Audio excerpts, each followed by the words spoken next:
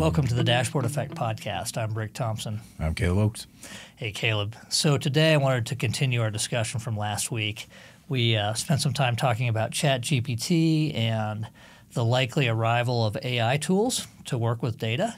Um, and I thought this week it would be good for us to talk about what do you need in place in order to take advantage of that when it comes.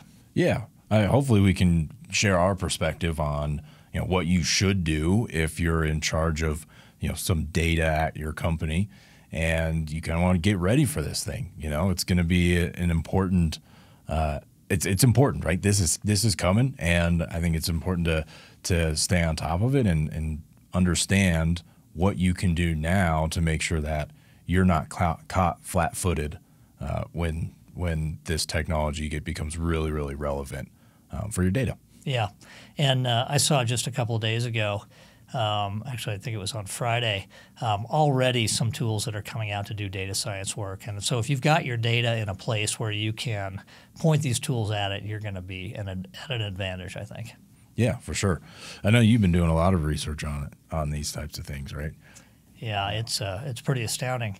I mean, it's still you know it's still early days. Um, there's a definite hype train rolling right now, so some of that may moderate a bit.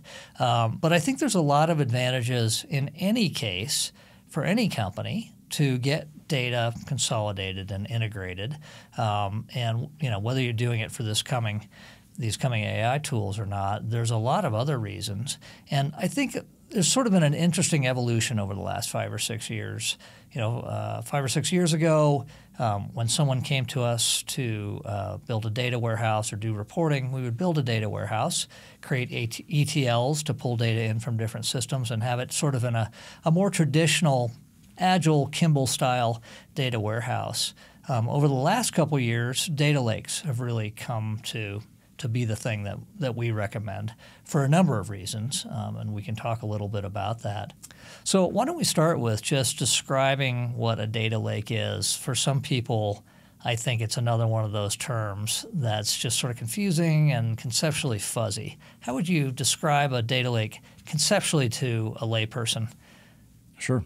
So the you can think of it as like a folder structure on your computer. You know, you've got folders, you got files, all that fun stuff on your computer. Um, inside of a folder, you have maybe other folders, maybe files, whatever.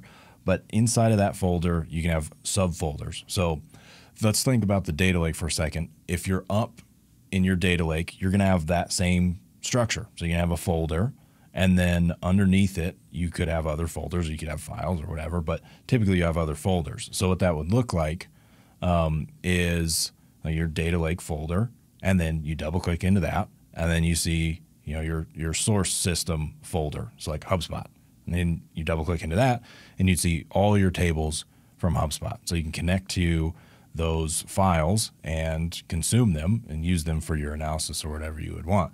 So those files that you're connecting to, each of those files represents a table from the source system, and mm-hmm. I guess it's in some kind of fancy format that makes it. Yeah, well, you could store it really however you want. I mean, typically use a Parquet. Would, yeah, typically you would put it into something specialized for a for a data lake that makes it you know, compresses it well and makes it easy to read off of the lake. But you can store other things like XML or whatever, you know, pictures, videos, CSVs. anything you want, JSONs, yeah, CSVs, anything. Okay. All right. Yeah. Okay. So I think that's a, a I like that simple explanation. Obviously, there's a lot of technical stuff around how to interact with it well. How to how do you load it every day so that you've got um, up to date data in it? How do people access it? Well, it is, I mean, depending on your interface, it can be as simple as sort of clicking through. Yep. Uh, but in most cases, you're also going to build some kind of a semantic layer. Maybe not most cases, but if you're doing, if you're making the data available to regular business report writers, you're going to do that. So you're going to have a, a layer of metadata that someone can hook their Power BI or Excel up to or Tableau or whatever that makes it really easy for them to access the data they want from the data lake, and we'll have the relationships to set up and yeah, all that type of stuff. Right. I mean, a good example of that is some some systems, one in particular called JD Edwards Enterprise or JDE.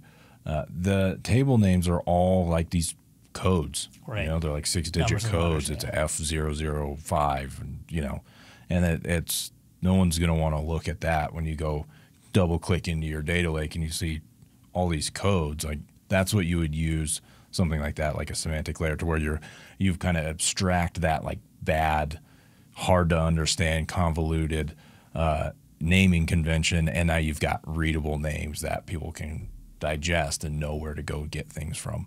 Um, so that's what that's a good use case for something like that. But you know, a tool that you could just connect directly to that data lake with Power BI. You know, the nice thing about uh, again keeping things in the Microsoft stack, the way that we do it with with uh, Azure and then using Power BI and Microsoft tools is that there's just connectors right to the data lake.